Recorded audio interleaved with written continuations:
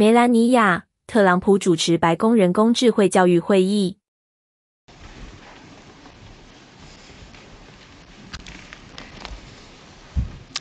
Good afternoon, and welcome to the White House. It's a beautiful event today. So, thank you for joining me to address this important issue. Secretaries Wright, McMahon, Rollins, and Chavez-DeRemer. It's wonderful to be here today alongside private sectors, leaders like Mr. Pichai, Mr. Krishna, Mr. Wilson, and the many more visionaries from across industry. We are living in a moment of wonder, and it is our responsibility to prepare children in America. Cars now steer themselves through our cities. Robots hold steady hands in the operating room. And drones are redefining the future of war.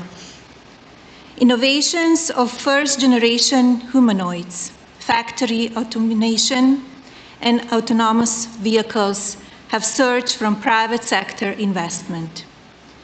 Every one of these advancements is powered by AI. The robots are here. Our future is no longer science fiction. Data from the Bureau of Economic Analysis shows that AI innovation is clearly boosting America's GDP growth. Surely this is not a trend, for AI will serve as the underpinning of every business sector in our nation, including education, life sciences, finance, and design. In fact, I predict AI will represent the single largest growth category in our nation during this administration, and I won't be surprised if AI becomes known as the greatest engine of progress in the history of the United States of America.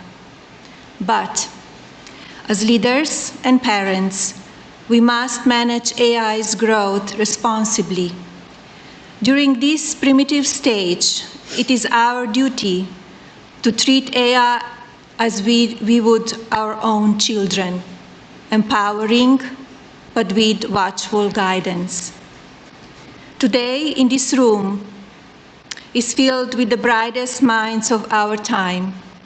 As such, I challenge you to focus on three strategic priorities of AI's ecosystem so America can lead in shaping a new, magnificent world. Infrastructure and energy, national security, and of course, talent. We must ensure America's talent, our workforce, is prepared to sustain AI's progress.